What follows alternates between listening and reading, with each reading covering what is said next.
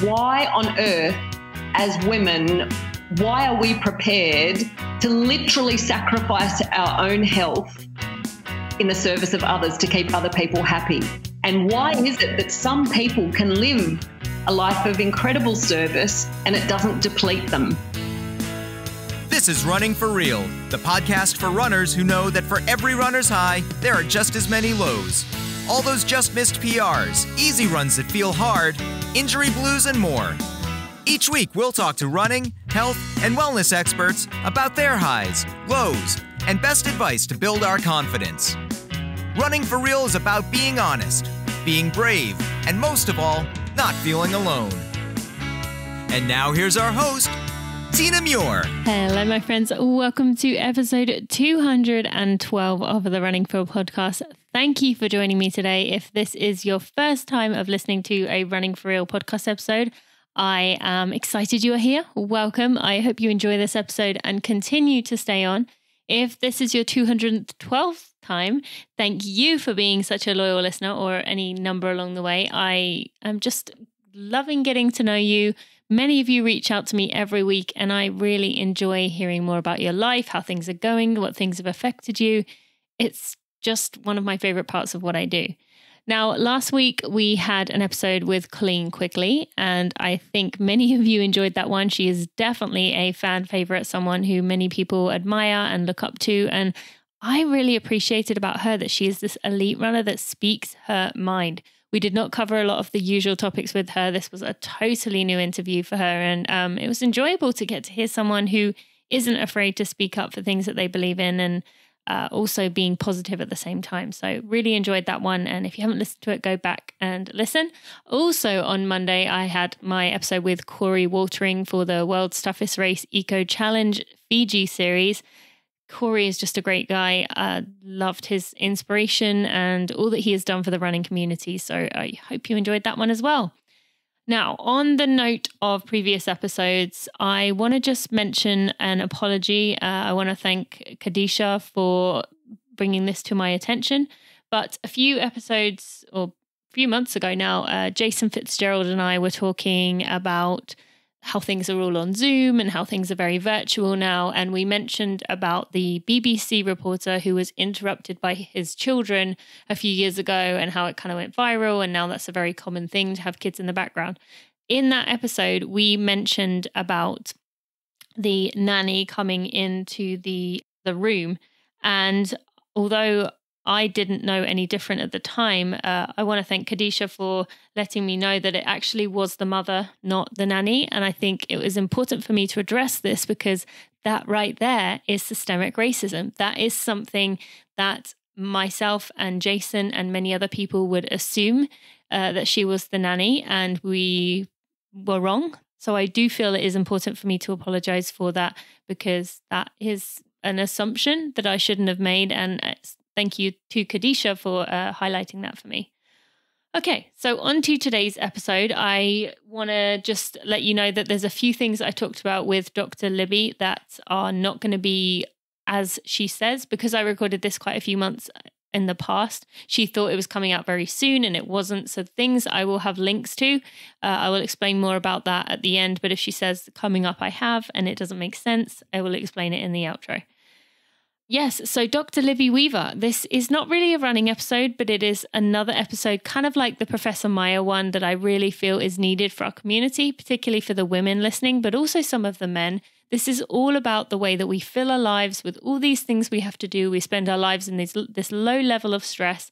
And I really enjoyed talking to this this expert. She has, is a 13 time best-selling author. She's a nutritional biochemist. She has helped hundreds of thousands of women all around the world to get, get their lives back in order. And not I'm not saying this is going to be about removing stress. We're not going to take stress away from your life. There's still going to be all those things, or I guess I should say, we're not removing to do things or activities from your life. It's all about the perspective that you have, the little changes that you can make to make all those things you have to do feel so much better. This is going to be a really interesting episode, very different, but I think it's going to be very impactful for most people listening. I could not stop reading this book. You will hear who recommended it to me in the episode, and I am so glad I have a copy. I will be referring back to it often. So, as I have already talked long enough, we are just going to take a moment to thank our sponsor, Momentous, and then we will be right to the episode with Dr. Libby Weaver.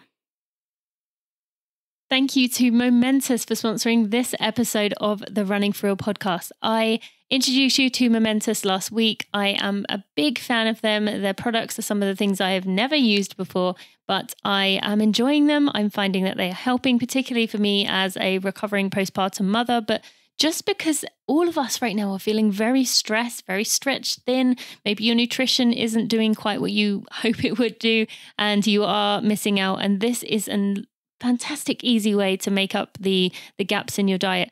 I am going to tell you a little bit more about the collagen today. That's something that I've really been enjoying mixing in smoothies. I probably will start mixing it in oatmeal once I switch to that as it's getting colder. I've also heard of people putting collagen peptides in their coffee, which I have not tried yet, but I've heard that lots of people say that it's a great way to to start your day with collagen to really help your body. So Momentous collagen peptides, this is this premium collagen supplement optimized for highly active individuals. That's you and that's me. The formula consists of 10 grams of high quality grass-fed collagen peptides, further optimized by the addition of 5.2 grams of Fortigel and 50 milligrams of vitamin C per serving. You can't complain about that. Fortigel is a clinically researched collagen peptide formula that was designed and tested to promote collagen synthesis in tendons and ligaments. So, if you are someone who tends to struggle with Achilles issues or tendons that get inflamed, this is a great product for you to add to your life if you are someone who deals with more of those. I always was a bone injury person when I was an elite athlete, but I know many, many people, including many of those of you who reach out to me often, are people who struggle not so much with bone issues, but with tendons and ligaments. This is going to really help you. Vitamin C is a necessary cofactor in collagen synthesis, and the consumption of vitamin C alongside collagen peptides has been shown to increase the effectiveness of collagen supplements. You can use momentous collagen peptides for daily long term joint health, resilience against injury, and a faster return to running. The most popular ways you could use it are, as I said, smoothie or in your morning coffee. A lot of people love that. It mixes in really easily, totally unflavored.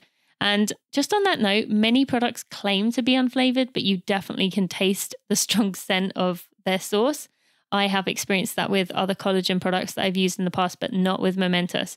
It is NSF certified for sport, which is absolutely crucial for athlete supplements. And here's the best bit I can tell you, you can get 15% off your order when you sign up for a subscription by using code TINA. You can get 15% off at livemomentous.com.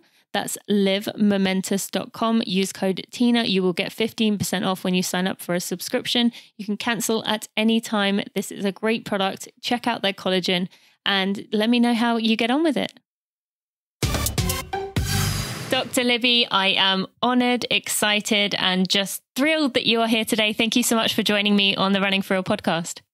Oh, Tina, it's an absolute pleasure. Thank you so much for having me. Yeah, thank you. This is going to be great. And I have to say, I don't know how many of my audience members would have heard of you other than I cannot believe I'm talking to you after Anna Frost had been mentioning that she reads your book, Rushing Women's Syndrome, uh, Rushing Woman Syndrome, uh, I think she said she reads it every year to remind herself. Um, and so I was really intrigued because I look up to Anna and I thought, I've got to check this out.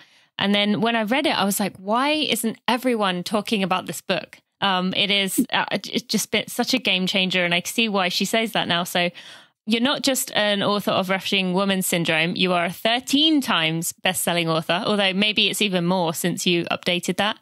Is it still 13? It's still 13, yes. Okay. Still pretty impressive. Um, you are a nutritional biochemist and uh, just have changed hundreds of thousands. I mean, maybe you could even branch into millions by now. I'm not sure you can correct me of women with just getting their life back, with getting their health back, and not in the way that they might expect. So, we're going to primarily focus on rushing woman syndrome today. But if there's other things that you feel apply from your other books, I'd love for you to to mention those as well because my audience, uh, many of them, definitely love to read. So to begin, I want to hear, you know, for some to to focus on something so specific with regards to helping women with their health, but beyond just the you need to eat better, you need to sleep more, you need to, you know, do the you take this drug. when was the moment that you realized you needed to do something and this was your passionate area that you wanted to go into beyond just what is typically prescribed? It was 2011, and I'd been working in private practice for over a decade, seeing patients one on one, primarily women. And I had just noticed such an enormous shift in women's health. Uh, in the way they were handling life, if you like, mm-hmm. uh, from 10 years prior, that I wanted to delve deeper into it. So, when women would walk through the door of my practice originally, you know, they'd just come with whatever they wanted to work on. And I started to notice the intensity with which women were turning up. And then when I would delve in and ask them questions, do you get headaches? Often they'd say yes. When we talk about their digestive system, there were all sorts of challenges, whether it was uh, an irritable bowel type syndrome picture or just constant bloating or unpredictable bowel patterns, or it was challenges with their reproductive cycle. So might have been really debilitating periods or their periods had disappeared or they might have been going through a really challenging transition with menopause.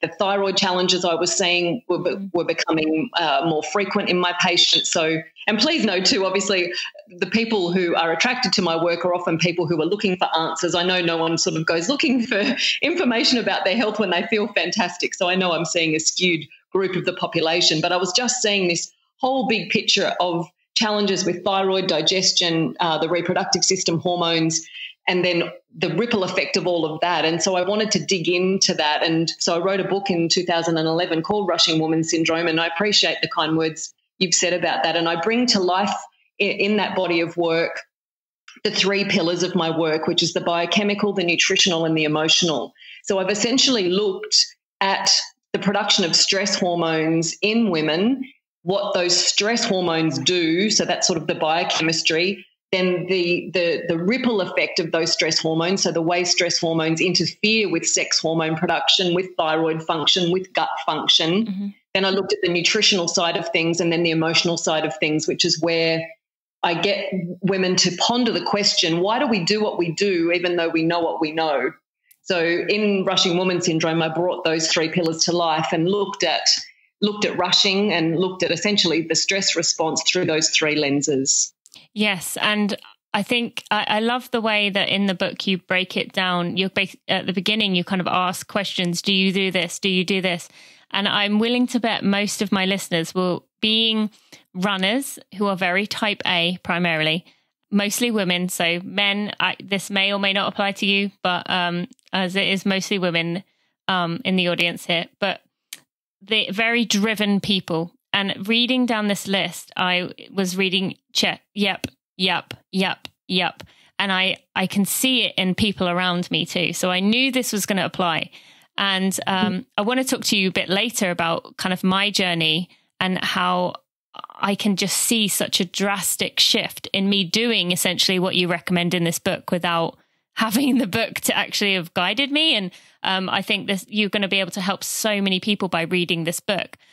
But I want to firstly start by going a bit deeper into one of the premises of the book is kind of that women don't trust their body, that we have kind of lost that ability to understand what our body is saying. So tell me and the listeners what what does that mean by that that women feel betrayed by their bodies? So I think at unfortunately at at younger and younger ages, women become aware of their physical shape and size. And I think there are very few women who don't start to fiddle with what they're eating at a particular point to try to either maintain where they're at or change where they're at. So I think a big part of it starts with us changing um, the amount of food we're having or the types of food we're having, and we become somewhat body conscious. And if you, it sort of depends on the era where you grew up, but if you grew up with the calorie equation running your thinking, in other words, as long as you eat fewer calories than you burn off with your activities, then your body size should get smaller. If you've grown up with that with that mentality and believing that that's the only thing that influences body shape and size, you soon soon learn when you fiddle with your calories that it doesn't work for most people. Yeah. And that you can restrict calories and exercise more and it doesn't necessarily change your body or for some women when they make those changes their body size actually increases and it's very perplexing and so that's when I first wrote those words, a lot of women feel like their body betrays them. That's where it stemmed from. It was that, that they'd played with their food and not necessarily gotten the outcomes they were that they anticipated they would get. Yes. So, and it was certainly my experience with my patients very early on, and my own experience was we. I, went uh, with the with what I was witnessing with that, and women not getting the results that they were expecting from fiddling with their calories. That was what actually led me to go back to my geeky biochemistry textbooks with the question in my mind: What leads the human body to get the message to burn fat, and what leads the body to get the message to store fat? And I put those answers into the first book I wrote, which was Accidentally Overweight. And there are actually nine factors, and they involve things like stress hormones, sex hormones, our gut bacteria, insulin, thyroid function, emotions play a role. So there are there are nine factors in total. So until we come to understand the factors that are at play for us, we often feel like our body betrays us because when you just fiddle with your food and you don't get the outcomes, you won't necessarily realize that, for example, you might be making a lot of cortisol one of our long term stress hormones that says to the body, break muscle down, hang on to body fat. And no amount of calorie restriction is going to override that survival mechanism, that mm-hmm. survival message. So that was the first part of that sense I had that women really felt like their body betrayed them. And that then led me to, I guess, really try to bring forth in my work the idea that our body is essentially our best friend it's a vehicle of communication, but it doesn't have a voice. Mm-hmm. And so it lets us know, it gives us feedback via symptoms. And when there's something going on with our body that's uncomfortable or frustrating, or it makes us really sad, or it's or things aren't working as well as they once did, that's information and it's all just feedback about our choices. And when the symptoms are uncomfortable or, or something we want to change, it's usually asking us to make changes in the way we eat, drink, move, think, breathe, believe, or perceive. Or sometimes it's a number of those areas. And if you can just, if we can start to shift our thinking to our body is this most extra, I call it an earth suit quite often. Yeah. and it allows us to live this extraordinary life uh, and we want to do everything we can to look after it and maintain its functionality for as long as possible because so many people, I think, live too short and die too long. Mm-hmm. A lot of people spend not enough time in their life with a fully functional body, with great energy. Uh, and uh, and and it's all just feedback. So that's the essence behind, I think, our that feeling that our body betrays us when it's not. It's our best friend, and it's always trying to wake us up to help us create our best level of health. Yes, I and I just I resonated so much with that. I mean, my audience knows this, but the reason my podcast business kind of took off was I had no I didn't have a period for 9 years mm. and I was a professional runner, but I all I all I kept getting was it's the running, it's the running, it's the running from doctors. But then I tried all the diet stuff to change tweak my diet to get it to come back. Nothing was working, nothing was working. Meanwhile, I was not really sleeping. I was um, restricting my calories, although would fight to the death saying that I wasn't. And it was only when I finally reached a point of, you know what, I'm going to do what I can. And I stopped running. I ate what I wanted. And I think one of the keys, I rested my mind and my body. I sat on the couch and I said, you know what, I'm prepared for the long haul with this road. Doesn't matter how long it takes me, doesn't matter what I have to do, I'm going to do it. Women reaching out to me almost on a daily basis saying, you know, you've inspired me. Thank you so much. But, you know, uh, how many calories do you think I should be eating right now to get it back? And I say the only way you're going to get yourself over that edge to where your health comes back is when you finally let go of this feeling that your body has to hit a certain number or look a certain way. It's only when you give yourself that freedom of saying, I trust you, body. I'm going to let you figure it out that it actually happens. And not everyone listening is going to be dealing with that. Um, but I want to dive into this a bit deeper into runners feel um, they know they have this physical stress on their body all the time, and they understand that. I, I know you're not the the hugest fan of running, and I'm not saying that to to make everyone you know uh, send an angry crowd at you or anything, but and because you could clearly say in the book that if you if you love to run, then you know go by all means go for it. Just make sure you're supporting your body with antioxidants. But people know that running is a physical is a stress on their body. but then they often people don't understand the other stresses that the rest of their life can have. Can, so, can mm. you explain to us the the additional stresses in your mm. life of the the high maintenance, the type A, the uh, the little things that people don't account for, that low level of anxiety, how that can really affect your body? Absolutely, and uh, so. Sorry, that was so much information. no, no, brilliant. It's so brilliant. And it's all about connecting with people and helping people and giving people the information they need to to to have, you know, a really a really healthy body. So no, it's brilliant. So because humans have been on the planet for a couple of hundred thousand years, and for all of that history, whenever we made stress hormones, adrenaline and cortisol, it was nearly always, or always historically, because of a physical threat to our life.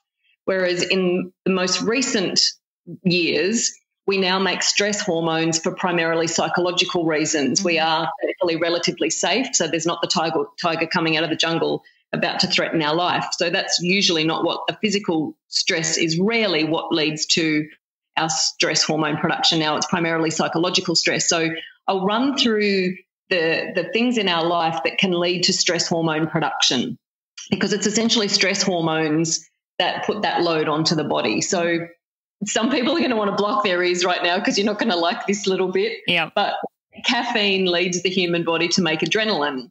And what, what happens is when we consume caffeine from any source, it binds to what are called the adenosine receptors in the brain. And when caffeine binds to those receptors in the brain, it sends a message to the adrenal glands, which sit on top of our kidneys, to produce adrenaline.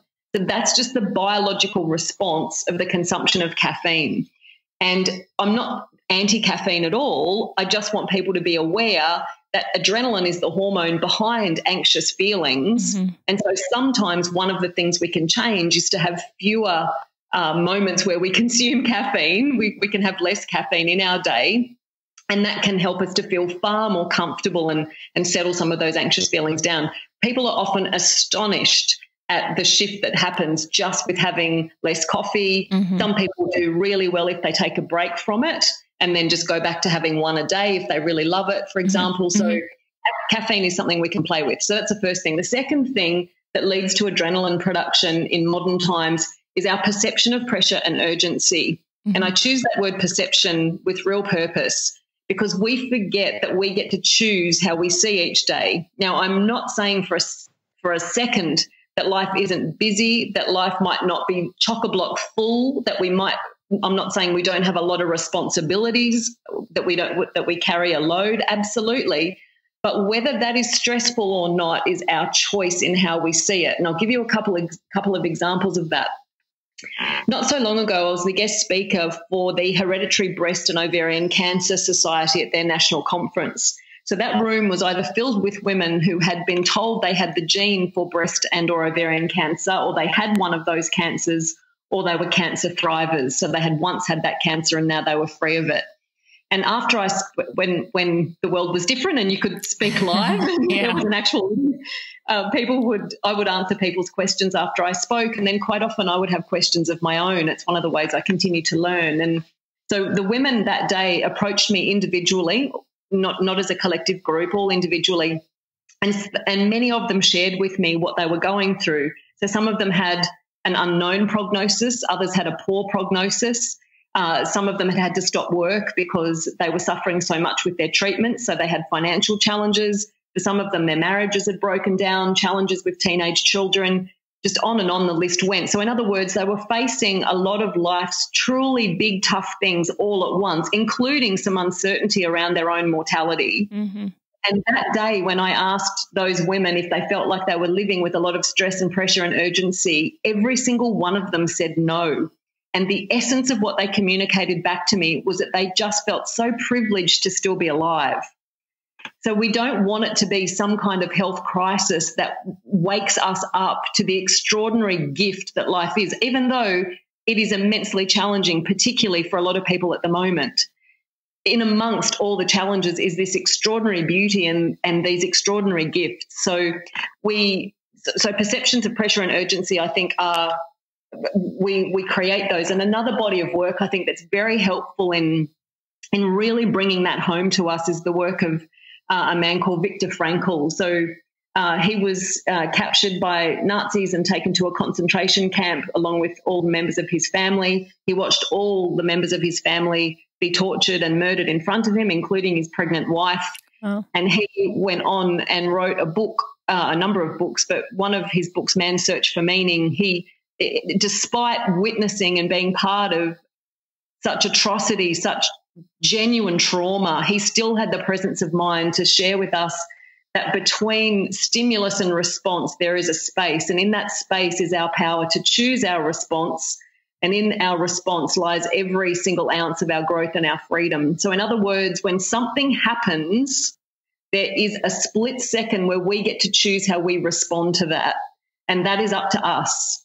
And that doesn't mean that, you know, we're not to respond with stress sometimes, of course. But I think when we can catch ourselves in our response, it helps to keep things in perspective. And then the final thing I'd say to one of the big things that we can change when it comes to our stress hormone production is in the last book I wrote, it's called The Invisible Load.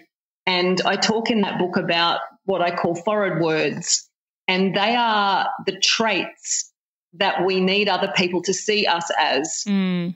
So I would say to, I used to say to my patients, tell me the way you need other people to see you. And it's a really helpful exercise to do. Just get pen and paper, ask yourself the question, how do I need other people to see me? And quite often, when you're a rushing woman, the first couple of words that come out onto the paper are kind, thoughtful, selfless. They're very common. Mm-hmm. And then you might go on to be intelligent, independent, confident, creative, perfect is another massive one for rushing women. People actually say the word perfect it takes about after they've done about a hundred other words, they finally get to that, and oh. then they cry, and that's yeah. when they cry. Yeah. because then you've got to go down that rabbit hole of mm-hmm. okay, now tell me what is that to you? So to be seen as perfect, what is that to you? And because that's different for everybody. Yeah. But it's it's so powerful to to hunt for this so you capture all your words on your bit of paper about how you need other people to see you, and if you if perfect comes out, dig into that and get the detail of that as well and what perfect looks like for you. And then the next time you're stressed, pause and consider if you are perceiving that someone is seeing you in a way that is the opposite to one of your borrowed words. Mm. And just about every time, I want to say every time, but I try not to speak in extremes, but, almost every time the answer will be yes. So, because for example, let's say in these current times, a lot of people are working from home. And let's say a colleague rings you up and says, Where's that work? I needed it yesterday. So we don't hear what someone says, we hear what we think they meant. Mm-hmm. So when someone says, Where's the work? Sure, you've heard their request for the work, but what you also usually hear in inverted commas is that they think you're inefficient or lazy or not good at your job. So, in other words, you perceive that they are seeing you in a disapproving way, but we often don't notice that that's what's going on. Yeah. And you just then end up in this stress response and you just think you're stressed because your colleagues asked you for some work that's not done yet. But if you didn't perceive their dis- if you didn't make it's a story you made up, the colleague didn't ring you up and go, "Oh my goodness, you're so lazy, you're so bad at your job." they didn't say any of that. They just said, "Where's the work?" Yeah. And if you didn't pass all of that judgment about yourself and make it all make this make the story up about the way they're perceiving you, it wouldn't be stressful. You'd just say, oh, I'm sorry I haven't got it to you yet. I've got a lot on my plate. I'll get to it as soon as I can. but it's because we, we, we don't want to be seen in any kind of disapproving way by others. Mm-hmm. That that's what leads us leads that situation to be stressful, and we do that all day, every day.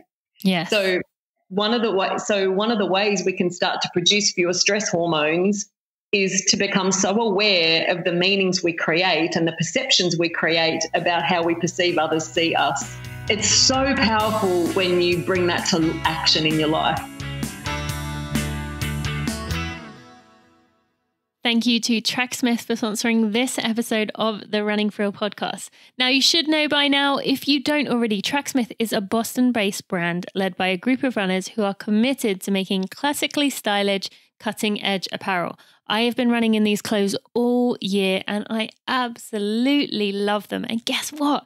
It is now the season that I can wear one of my favorite items, which is the Brighton base layer. This is a soft, lightweight base layer made from 52% wool, 28% nylon, 20% polyester. It's sewn together seamlessly to prevent any chance of chafing against your skin, and I can absolutely attest to that. It has a tighter knit on the arm, arms for warmth with a looser knit in the core where you're going to heat up as the run goes on. We all know how it can be chilly when we start, but then we warm up as we go and it's a bit looser to let some of the air flow through. This is a perennial bestseller. This Brighton base tank has been featured all over the world as one of the the best long sleeves on the market and it absolutely is. It is my favorite thing that Tracksmith wears. I think it's probably my favorite thing. Yes, I think it is my favorite.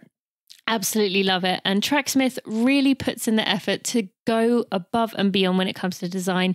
They design all their products to solve the kind of problems that runners face, whether it's a breathable long sleeve that can be reworn without washing. And yes, I can do that too. Or whether it's the perfect short for your long run with room for your keys, phone, and fuel, Tracksmith designers sweat the details so you don't have to. I've been telling you about Tracksmith for months now. I absolutely love them. But beyond just the clothes, it is so important to find a brand who who speaks up about things that are important not only to them as a brand but to us in the running world and I really admire the way that Tracksmith has changed things and changed their approach and really speaks up. They want to be inclusive, they want to be diverse, they want to make sure they stand up for what is right in this world. And that is very, very admirable. So I want to thank Tracksmith for doing that. Now, Long story short, to give you my coupon code, which you can now use code TINA15, that's code TINA15 to get $15 off your order of $75 or more by going to tracksmith.com. You can also go to tinamuir.com forward slash tracksmith, and there will be lots of links there to my favorite items, including that Brighton base tank, but also the other items that I like if you aren't in the market for a long sleeve. This brand really cares about the community, cares about running. You just need to follow them on social media to see this. They are one of a kind. I'm so proud to be working with them. And yeah, go get $15 off your order of 75 or more by using code TINA15 at checkout. So, one of the ways we can start to produce fewer stress hormones is to become so aware of the meanings we create and the perceptions we create about how we perceive others see us. It's so powerful when you bring that to action in your life. Yes, and actually, I've been uh, meditating for uh, for the first time in my life. Actually, like sticking to it for the last two or three months, and yeah, I'm starting to see what you talked about. That split second where you get to you kind of are like, huh, I wonder why I thought that rather than, uh, you know, kind of berating yourself or or letting things go um, go to a point where you get angry with yourself for letting them get that far. Um, so yeah, I, have definitely seen so much of that, and and like you said, it is so powerful once you realize it, or even behaviors that you've done your whole life that you know afterwards, you're like, why do I do that? But instead of saying why do I do that, saying, huh, I wonder why why I do that, and then yeah, and then it peels back until you can do it just in the moment before. So I love hearing you say that because I'm definitely seeing it right now. And I know meditation is one of the things you recommend, mm. but just to dig in more to the um, the kind of being in it, the the way that women treat themselves uh, a little bit more. So in uh, Rushing Women Syndrome, you talk about women living what you've been saying this perception they have to be all things to all people so they will never ever be rejected. And then later on, you go to say, uh, fit everything in to do all they have to do so they never ever let anyone down and feel rejected. Tell us about what you mean by that, like feeling rejected. If someone's saying, well, I don't, I don't worry about feeling rejected. Could you explain what you meant by that? Essentially, it's being disapproved of. So I think I try to get everything back to its origin. I try to get to the heart of absolutely everything in any situation I'm dealing with with someone in listening to their stories. And so at the heart, and it, it sounds really hippie la la, but at the heart, at the heart of absolutely everything is love.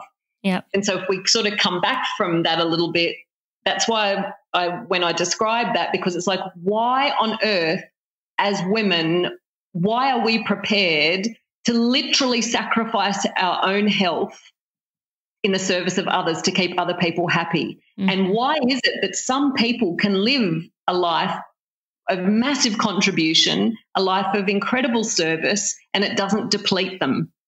And that's where I pulled it apart into when you do something out of duty, it depletes you. Whereas if you do something because you feel called to act on it, it is energizing, even though your life might be incredibly full and overflowing with tasks. When it's something that you feel really genuinely called to do, you get energy from it. Whereas when you're doing it out of duty or because you're worried that someone will think less of you, uh, then that, then that's depleting. So when I when I made that when I wrote Rushing Woman Syndrome and said we ultimately do it so that we're never rejected, it's so that we're never.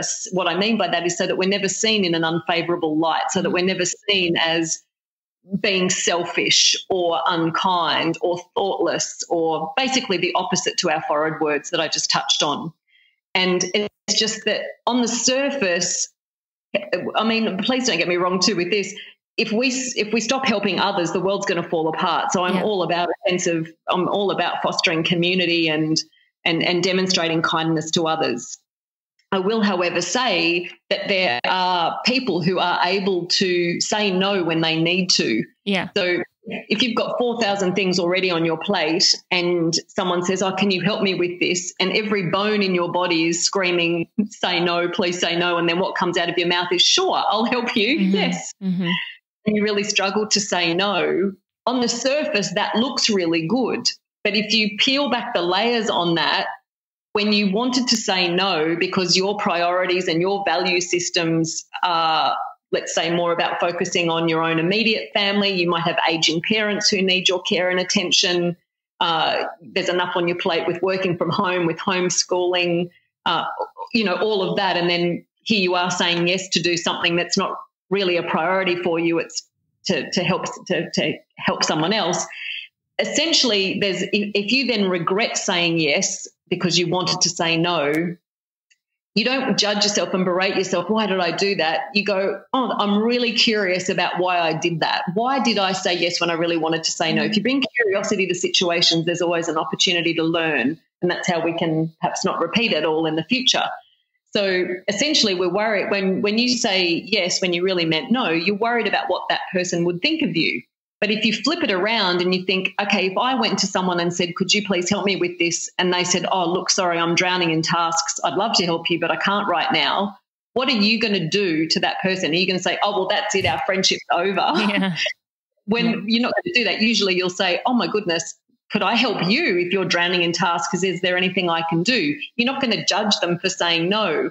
But I think as rushing women, we get really concerned if we say no that they'll think that we're the opposite to one of those forward words. Yeah. So it's um, it's fascinating when you just start to peel back the layers on on on our behaviour. So I want to go deeper into that. But one question that came up when you were saying that, what is the difference between that saying no to think to tasks and let's say, you know, everyone's feeling very busy right now, and an opportunity might come up to talk to a friend or to be involved in a group chat or something that you know deep down is going to make you feel so good. Every time you talk to this person, you walk away feeling great, or you meet this group and you feel confident and happy and, and just like full up. But then in the moment, you're, it kind of is like, oh, like I, I kind of hope they cancel so I don't have to go. Or there's always that uh, like urge to say no or to find an excuse, even though you know it is actually going to energize you. Is there anything behind that in terms of explanation of, of why? Because I know many women do that and, and it kind of is a bit of a joke, isn't it? Like, I just want everyone to cancel so I can go home and watch TV. Can you explain that kind of phenomenon a bit?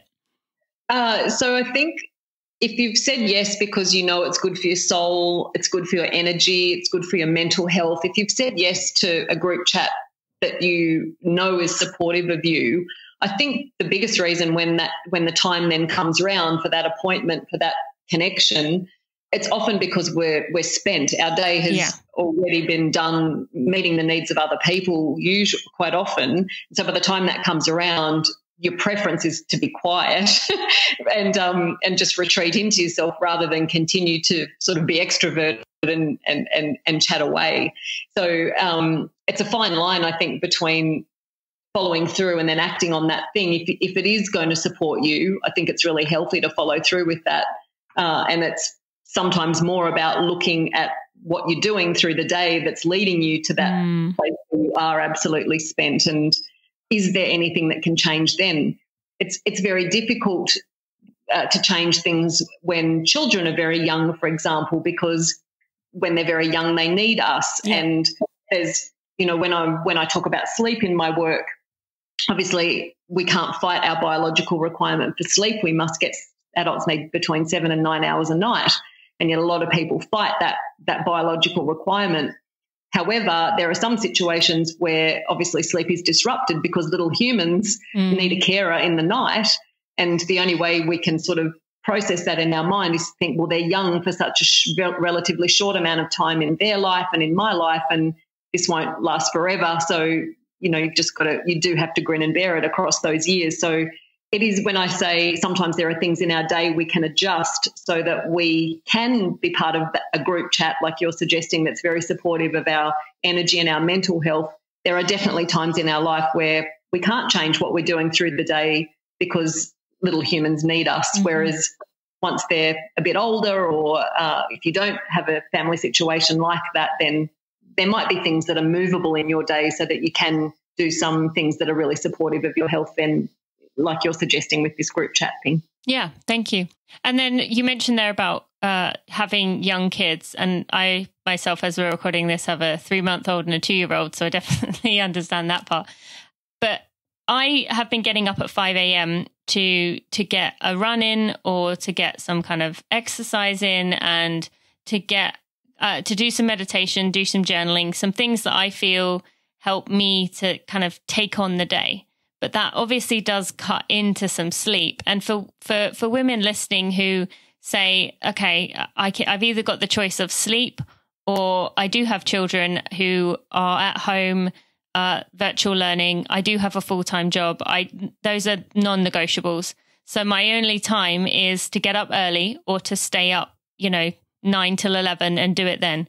What would be your suggestion? Is it worth giving up that time kind of essentially continuing into the rushing woman syndrome to get some me time or would you say it's almost better to to get the res- restoration and the sleep and step away from those things it's highly individual, Tina. hmm So there are some some people if they are really depleted, so their cortisol level is low, they've got a lot of inflammation, uh, they're very stiff, their thyroid function might be starting to decrease. So if you're really at the very depleted end of of the energy spectrum, then the sleep is is the most critical thing because that's what's going to help restore your energy and help restore so much about your health.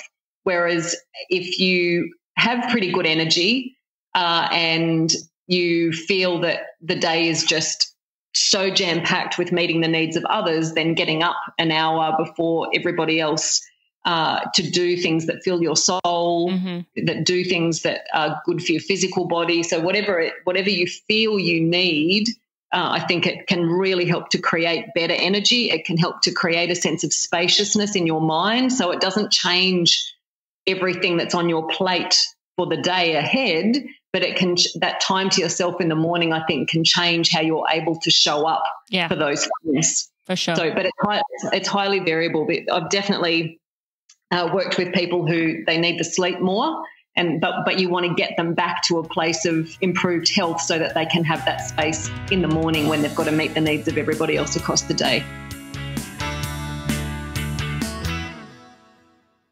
Hi, friends. Today I want to tell you about our Black owned business feature of the week, which is Tawa Threads. And Tawa Threads reflect the natural beauty, contours, and silhouettes of the lands we love to wander. Tawa Threads styles and bold exploratory colours seek to elevate underrepresented communities by giving proceeds back to organisations who implement inclusive outdoor experiences. I love that. Designs include an assortment of apparel, home decor that are uniquely hand printed, providing each print with its own unique character. Love it. You can feel free to use my discount code, which is Run with Tawa 10 at checkout when you are purchasing your product. That is Run with Tawa 10. R U N W I T H T A W A 10 at checkout when you are purchasing your product. You can find out more by checking out Tawa Threads on their website by going to T A W A T H R E A D S tawathreads.com. You can find out more. You can see their cool design. You can see about the partners they work with. You can learn about the advocates. You can be an advocate and shop by purchasing some of these products. They are just a wonderful company to be supporting, a black owned business. I've got to know Tabria a little bit and I love her and I think I'm very excited to, to share Tawa Threads with you. So you can use code Run with RUNWITHTAWA10 at tawathreads.com and go support this black owned business. I've definitely worked with people who they need to sleep more and but but you want to get them back to a place of improved health so that they can have that space in the morning when they've got to meet the needs of everybody else across the day. Okay.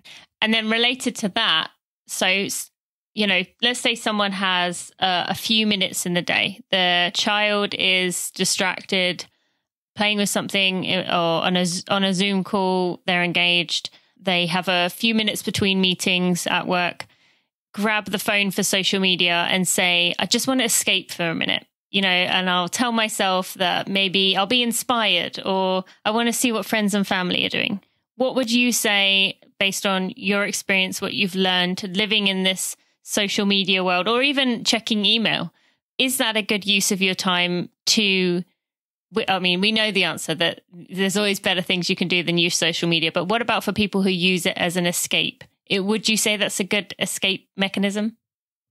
Uh, I'd firstly ask someone why they felt like they wanted to escape from their life. um, and I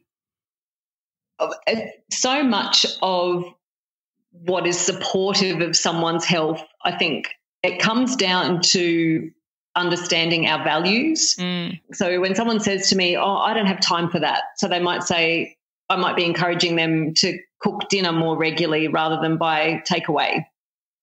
And they might say, Oh, I don't have time for that.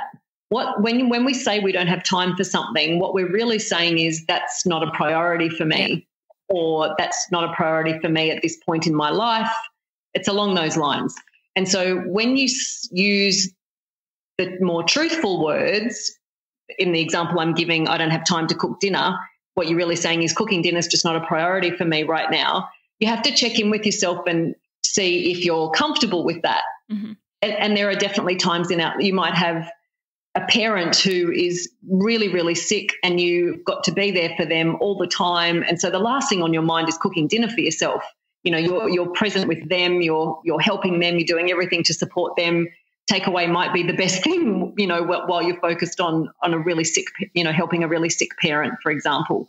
But if it's, if there's nothing sort of out of the ordinary happening, it's just everyday life, even if that's really chaotic, it's you know and you're saying i don't have time to cook dinner more often, it's really hard to have great health if you're not having a decent amount of home cooked meals. Yeah. So you've got to see if you're comfortable with that. And then that all comes back to our, all of this comes back to our values. I think one of the most powerful things we can do when it comes to our health and our, our time management and the way we perceive stress is to actually do an exercise in our values. And I don't mean ethical preferences like patience or loyalty. I'm not talking about those things when I talk about values, I'm talking about what our life demonstrates we value. So, our in, in this context, I'm talking about yeah, our, the way we live our life shows us our priorities. What are you prepared to spend your time on, spend your money on? What do you think about when there's nothing else happening? Uh, all of those things show you your values. And so when someone says, oh, you know, I've got five minutes between meetings and I want to check social media, if someone values nature, uh, which might be part of their health, mm. they're not even going to think of checking social media. They're going to go outside between their meetings and look at the sky or look at the grass or just take some breaths of fresh air outside or whatever it, you know, whatever it is. It's so it's I think so many of our choices come back to our values. And if we've never explored our values, then things that are of a, a lower priority will jump into those places. And you get to the end of the day not feeling very fulfilled and that's not to diss social media. I know it's how some families stay in touch. I'm not putting it down for a second. It, it definitely helps some people with connectivity. But when someone's saying, oh, I just want to escape for a minute, I 100% understand that. And by all means, of course, go for it. But it could also, that space could be filled with social media on two of those occasions across the day. And then the other three of those little spaces could be filled with something that is more meaningful to you. Yes. And so, related to that, if someone feels that especially right now there's there's a lot of of things we can't control that stresses that are always going to be that are going to be around for a while that you like you said you can choose whether they affect you or not um, things like uh, the climate emergency things like the um, conversations about systemic racism that are going on those things are going to be around but then someone so they know that going to check social media or particularly somewhere like Twitter is not going to make them feel very good because they're going to see things and it's going to add in more of this cortisol that you've been talking about. But then they find their to do list is so overwhelmingly long that it is almost impossible. Like, I just don't even know where to begin. I just need a few moments to, I don't know, just browse and, and look online at, at shopping or something like that uh, what would you say that's an uh, underlying thing going on? If someone feel like they have this massive list going on yet they can't get started on any of it? Uh, i would just give yourself permission to be the way you are right now. So if I, I think you see you would i would see that i just want to browse shopping on online. I would see that as this person needs some help. This, not as in like they need if they can't face their to do list. You know, what can we change with that? Is mm-hmm. are they someone who doesn't have access to any help or support? So how can we set them up with some? Or is it that they they might be living with other family members, but they just don't want to ask for help? A lot of women have a statement: "If I don't do it, it won't get done." Yeah. And so they'd rather just do it themselves than ask other people to get the groceries or tidy the kitchen or whatever it is. They just would rather do it themselves. So if you feel really overwhelmed with a to do list, yeah, so is, is, is some help and support needed? Uh, and, and if you don't have access to that, it's obviously very important that that changes. Uh, even if it's a phone call to a support service so that you can have a chat about things and you know see what's what might be behind the scenes there but I would also, on the flip side of all of that, if it's just, oh my goodness, I am really tired and I've just got back to back meetings, and then tonight I've got all this, you know, family stuff I, I want to attend to. So just give yourself permission to do what you want in that five little minute break and don't judge yourself if you want to have a browse online. I think um, the judgment we pass on ourselves sometimes is far yeah. worse for us than any of our choices. And I used to say that about biscuits because so many of my patients over the years would say to me, "Oh, if I eat one biscuit, I'll eat the whole packet." Yeah, and which is a cookie for anyone listening.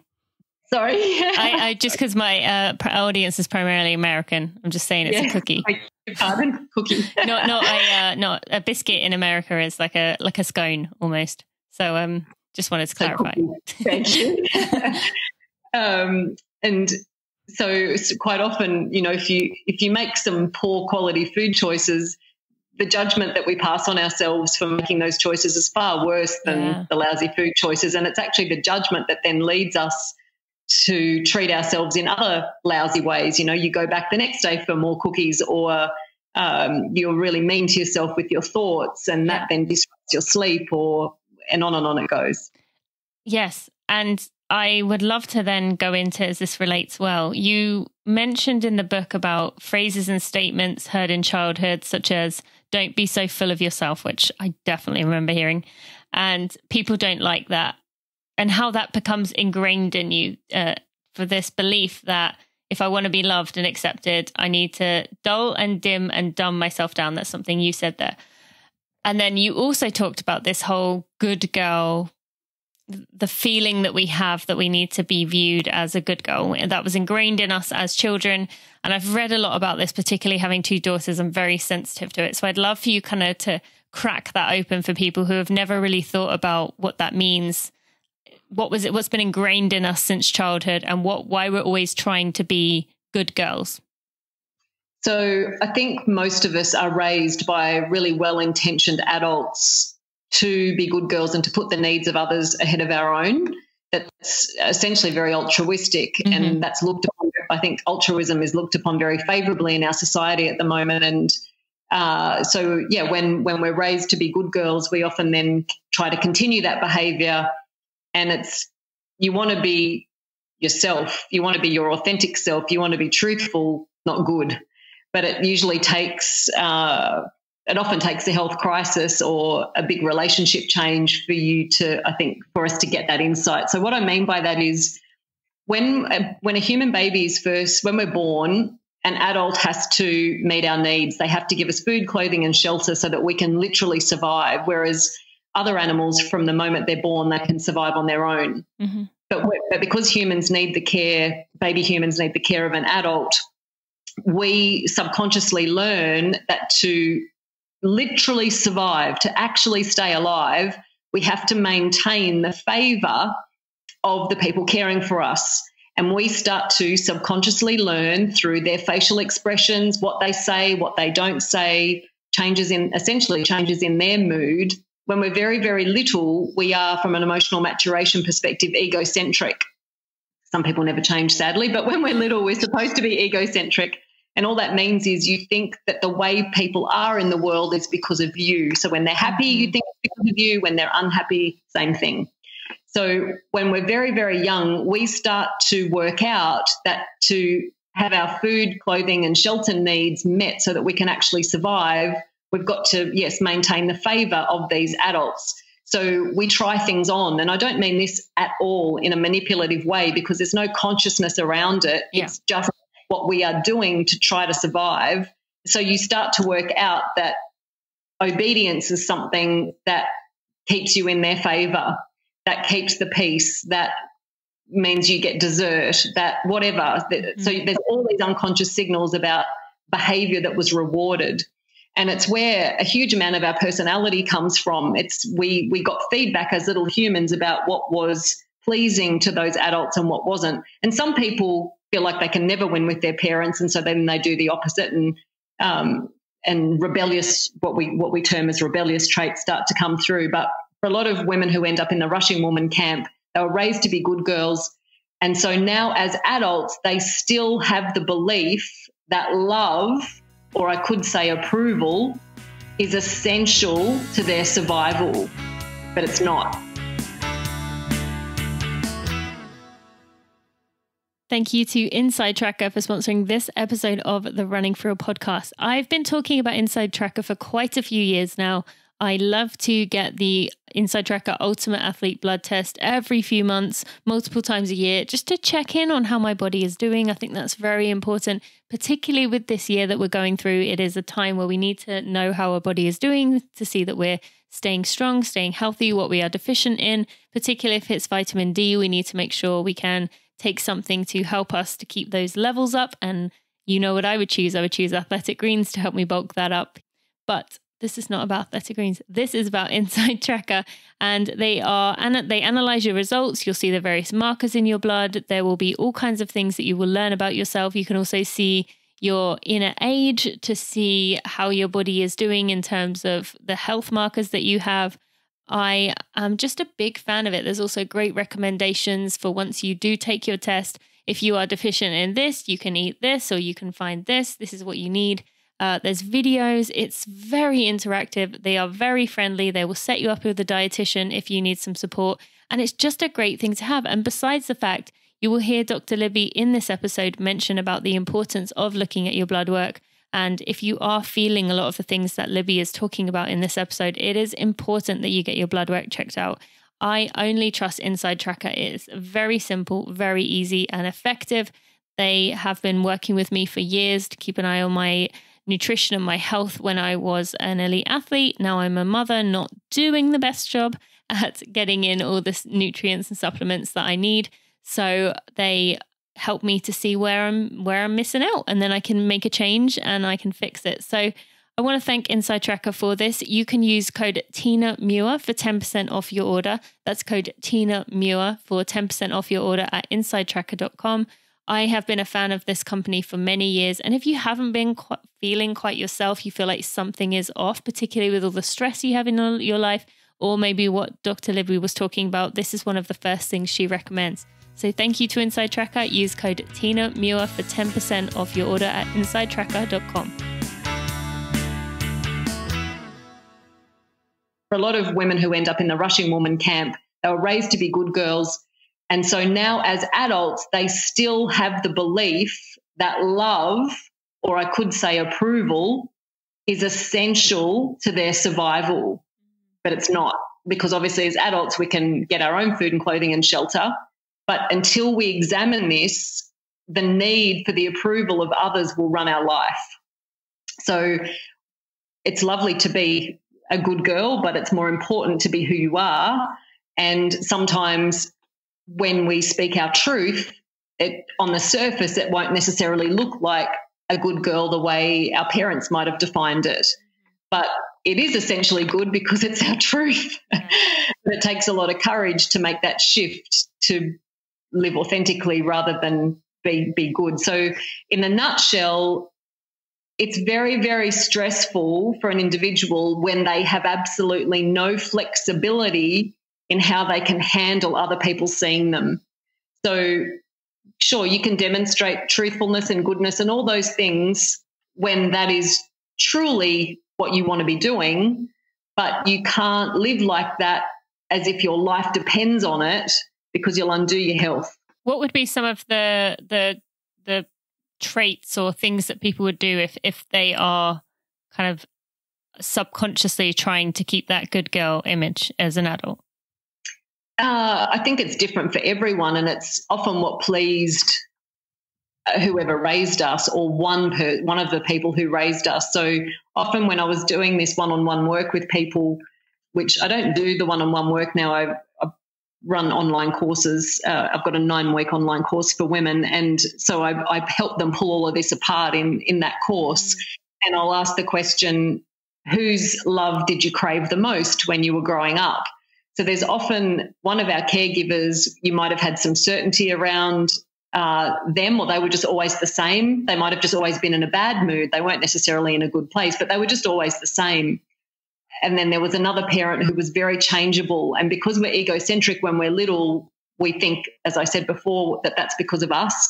And so we then try to change who we are to try to make them happy. And so quite often the good girl behaviors in adulthood will be the behaviors we tried to use to make that parent happy or a parent might have been suicidal or really depressed and so you tried to be the biggest ray of sunshine on the planet because you felt so responsible to keep that person alive or to try to bring a smile to that person's face mm-hmm. whether it worked or not and so you still try to be that biggest ray of sunshine for absolutely everyone so the good good girl in inverted commas traits they can be different for everyone, but they're often what we tried to employ to ensure our safety when we were when we were little. Yeah.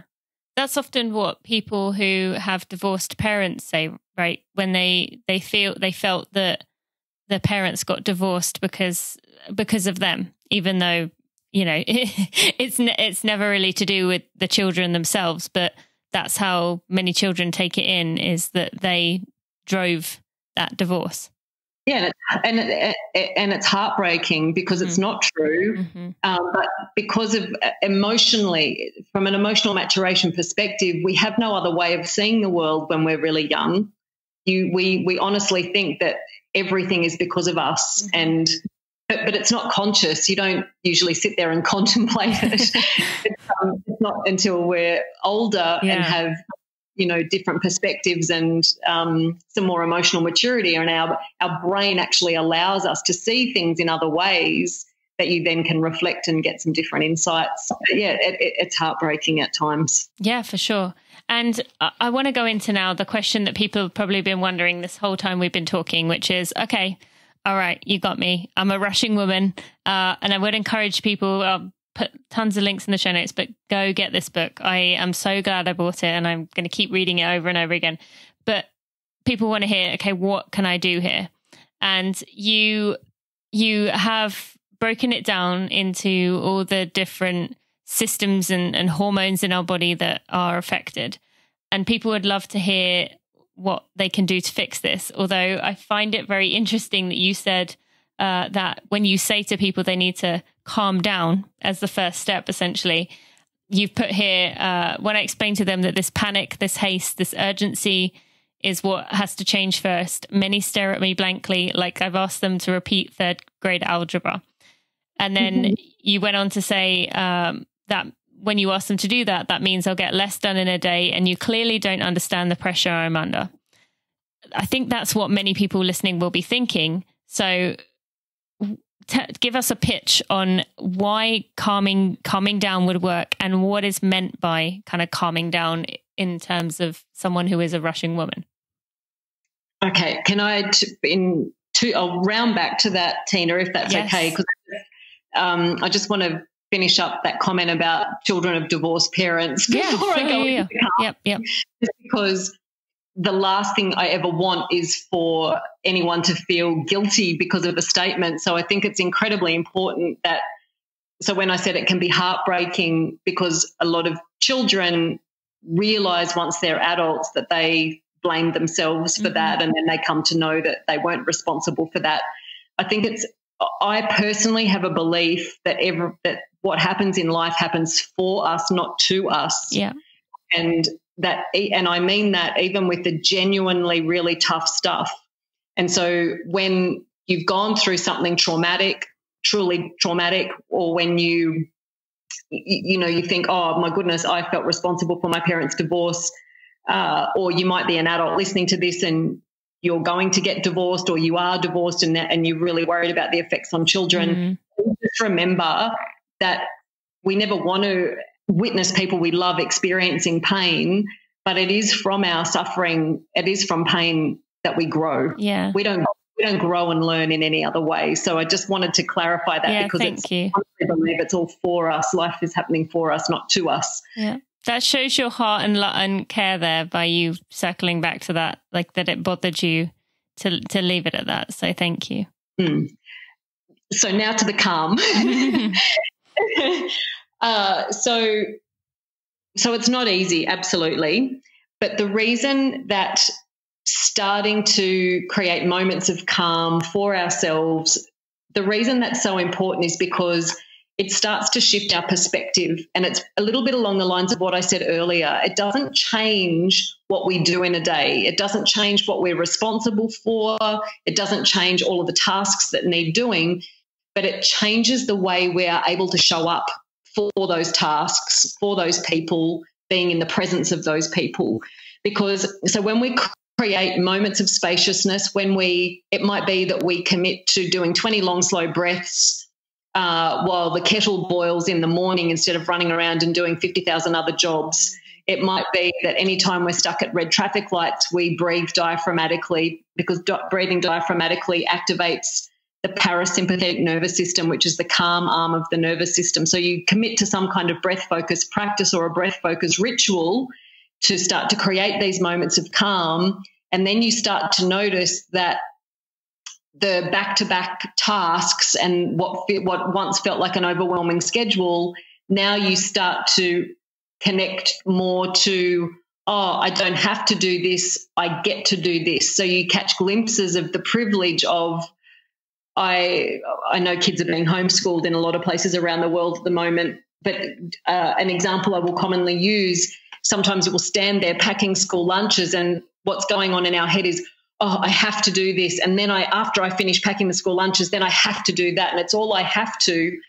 And we can flip things in if we have those moments of spaciousness and we've got a little ounce of calm starting to come through from how we're breathing or or shifting our perceptions, and you think, oh, I get to do this. And I can remember one of my dearest girlfriends, she has three children, and uh, she has been packing school lunches for 18 years. And she said to me, I always blame the school lunches for making me late. she said, You would think that in 18 years I would have learnt to start doing it earlier, or I could have done it the night before, but no, I still do them on the morning before school. And I have always said the school lunches make me run late.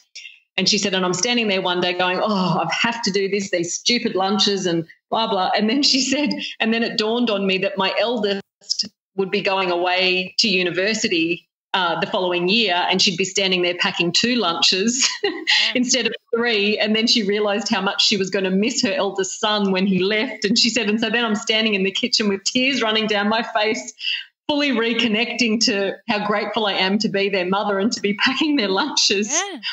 And so I don't want to be all Pollyanna about this and, you know, paint a picture like, oh, you know, just flip your thinking from I have to do this to I get to do this. I'm not saying it's that simple, but when we create these when we create rituals in our life that foster calm, whatever that is, the breath, the breathing practices, uh, making sleep a priority and getting more sleep in in your storage banks so that you can when things go awry in the day instead of reacting with intensity you can see it for how it is and go okay that's not what was scheduled that's not what i was expecting but okay we're just going to go with this rather than sort of going into that overwhelmed, oh my goodness, this is this feels like the end of the world, blah blah. So the calm when we start to embrace just moments of calm, little rituals across our day, it just starts to change how we're able to handle things and the way we approach things. Yes, thank you so much. I've actually found uh, I've heard this mentioned before, um, but I've found that when I brush my teeth in the morning now, I really try and just stand still and brush my teeth rather than trying to do six different things, not brushing my teeth as well as I should be brushing them because I'm, you know, trying to like bend down and tie my shoe. and uh, no, I, I couldn't do that, but you know what I mean? Like something that is you're trying to get done. Instead, I kind of stand and look at myself in the mirror, just take a moment to like look at myself. And, and I, I've really kind of been enjoying doing that because I can feel the toothbrush on my teeth. I can make sure I get all the, get it, you know, exactly how I want to mm, hopefully prevent cavities. And then just being able to look at myself for a minute and, and, and appreciate that. So, um, that's one little thing that I've been trying to do lately that I've I've found very helpful and I I like that you said starting small with little nuggets and and in the book you explain you know how how to do that and and and resources to help. And you also, I just want to mention quickly, uh, you mentioned um, about getting blood work. So if someone is feeling that this is everything we've talked about has applied, but they want to get a starting point for where where they are at, to see where their cortisol levels are, to see um, where many of their hormones are, their sex hormones might be at, to tell if it is affecting their body. Why is it that blood work is is going to be helpful to kind of give, or do you think blood work is a good starting point before someone begins this journey of kind of pulling themselves away so they can get a snapshot afterwards?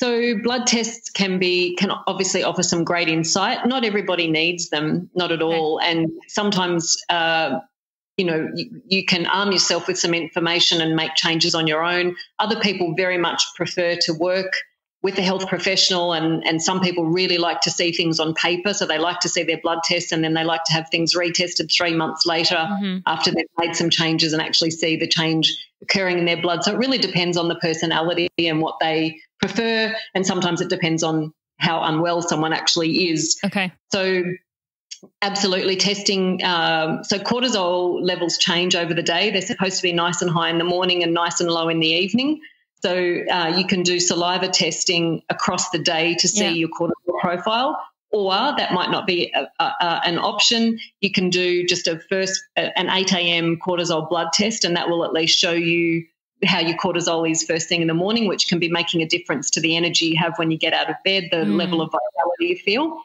Iron is another thing that's very worthwhile testing in the rushing woman type population because uh, 25 to 30% of women across the menstruation years, uh, certainly in Australia and New Zealand, are iron deficient. It's, a, it's the most common nutritional deficiency in the world, and it's mm-hmm. responsible mm-hmm. for the transportation of oxygen through our body. So it's hugely linked, obviously, to energy, uh, to what's happening with our menstrual cycle. particularly for uh, runners as well.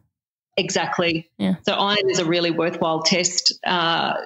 So can zinc be. I'm always curious to test thyroid function. Mm. Uh, if you test your sex hormones, estrogen, progesterone, etc., you need to ideally do that on day 21 of your menstrual cycle if you have a 28 day cycle. So you, you test sex hormones seven days before you typically menstruate mm. because that's your progesterone is supposed to be nice and high uh, seven days after ovulation. So uh, blood tests can offer uh, great insight for some people. Not everybody needs them though. Okay, great. Thank you so much. All right. Anything else you would add for someone, obviously, to go get Rushing Woman Syndrome or and check out the other books that you have on your website, which I will put lots of links in the show notes to. But anything else you would like to tell people listening who maybe have been hearing a lot of what we've said today and thought, oh wow, yeah, I this all spoke to me. oh, thank you, Tina. So I'm actually doing. So I wrote the book back in 2011, and it's uh, never. It, it's just amazed me how it's kept really connecting with people. Mm-hmm. Um, so I, I, love it when when when people find it and it really rings true to them. So yeah. and with and obviously with all the changes going on in the world at the moment, uh, we've been getting emails every day from people saying, you know, can you do a course about rushing? I've, I've got a, a nine week online course yeah. for women. Okay. Um, that the next one of those starts on the 5th of October. But I'm at, we've had so many requests for the rushing woman type information. I'm actually doing just a one hour online live event uh, for that a little bit later in October. Um, so you can read about that on my website, which is drlibby.com. But the, I guess the final thing I would say is I think we often think that the opposite of stress is calm. And over the years, I've really come to see that it's not. The opposite of stress, I think, is trust. Mm. And we forget to trust, and we forget to trust in the unfolding of life. And sometimes it's incredibly painful and it's incredibly challenging. But at the same time, even when it's really painful and really challenging, it is also so incredibly beautiful and such a ridiculous gift. And I think if we can stay somehow in touch with our ability to trust the unfolding of it all, that too can really help to foster calm. I love that. Yes. Thank you so much. What a great way to, to finish it here. Uh, so where would you prefer people come find you on the website, on your social media? Where, where was, where's the best place oh, for them to go learn? Wherever the, wherever the information is for them. So my website is drlibby.com. There's plenty of blog posts there about you know sex hormones and all the all the things I talk about. Uh, and on Instagram, I'm Dr. Libby. It looks like Dribbly, but it's just D R L O B B Y. Uh, and Facebook is Dr. Libby Live. But yeah, there's information in all of those all of those places. Okay, thank you so much for your time. I appreciate you and all that you have done, and look forward to hearing what many of my listeners find once they they read this and and really kind of allow it to help them change their lives. So thank you. Oh, Tina, I appreciate everything you're doing and the difference you're making in, in people's lives, helping them come back to, you talked about it at the beginning, really listening to their body and trusting that mm-hmm. and trusting in that again. So thank you. Thank you. So important. My friends, if you have a minute and you could leave a review on your favorite podcast player, Apple Podcasts, aka iTunes, Stitcher, Overcast, Pocket Casts, Spotify, or whatever else podcast player you use to listen to this podcast. Or if you would subscribe to this podcast, you will help me get out in front of new runners to make our tribe even bigger and even better. It might not seem like you as one person can make a difference, but really it helps a lot. And it shows me you appreciate the hard work I put in for those. Thank you so much so thankful to Dr. Libby for coming on this show to talk to us. I was actually amazed that she said yes, to be honest. She has a ton of things that she does in her life. She has a massive following. I wasn't expecting a reply, let alone to have her an hour of her time. So I hope you enjoyed that one as much as I did. I really did enjoy it. You can find links in the show notes by going to tinamuir.com forward slash episode 212. And on that note, at the beginning, I mentioned this briefly. You heard Libby talking about a live education thing that she is doing. That's actually already happened as of the day that you are hearing this. There's going to be more on her website to explain where you can go to watch previous things that she's done and what upcoming things she has now uh, coming up in November and beyond. So be sure to go to the links in the show notes, tinamuir.com forward slash episode 212. I also want to take a moment to thank our sponsors, Momentous, Tracksmith, and Inside Tracker. You can use code TINA15 for $15 off your purchase of 75 or more at tracksmith.com. You can also get 10% off at Inside Tracker. This is detailed blood work. If you're confused with something that's going on, if you want to check in on how your body is doing, you can check it out and use code Tina Muir for 10% off at insidetracker.com. That's Tina Muir for 10% off at insidetracker.com. And finally, I want to mention about Momentous. I've been telling you about them the last few weeks, and I've really been enjoying the products myself, particularly the collagen and the creatine. You can use code TINA to get 15% off your first subscription at livemomentous.com. That's 15% off using code TINA at livemomentous.com. Now, next week we have a very special episode, another guest I did not expect to get. This guest, I only have him because of how early I asked for this episode. Have you watched Down to Earth on Netflix yet? If not, go watch it. That's your homework this week. I have Darin Olien on the show next week, and I could not be more excited for you to hear this conversation. Go listen up to Down to Earth with Zac Efron and Darin Olien on Netflix, and I will see you next Friday. Thanks for listening to the Running for Real podcast. Be sure to check out tinamuir.com for show notes and even more helpful running information.